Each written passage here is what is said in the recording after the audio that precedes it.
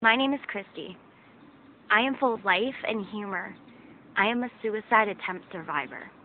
For us to lead the way forward, we need mental health and suicide prevention messaging that shows that it's possible to recover from suicidal thinking.